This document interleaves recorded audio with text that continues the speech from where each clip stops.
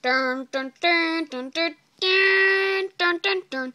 Hello, this is Annie reporting at the Stuffieville news station, and today the date is um uh, Monday, September second, two thousand thirteen, and so um there aren't there actually aren't many most ma- any major stories today, so because there's nothing really to report, nothing's really happening, so that means that um it's now to Kitty with the traffic report.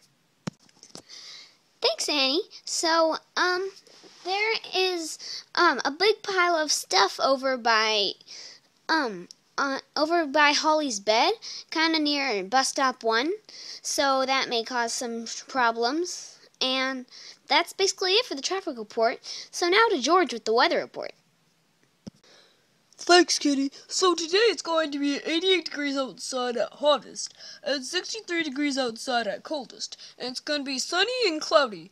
So it's cooling off a few degrees, but later in the week it's going to start getting really hot again. Like, I think on Saturday it's going to be um, in the high 90s. So hopefully, um, hopefully it doesn't go up too high. So that's it for the weather report. Now back to you, Annie.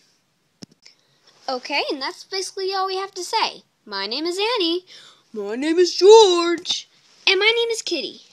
Thank you, and good night.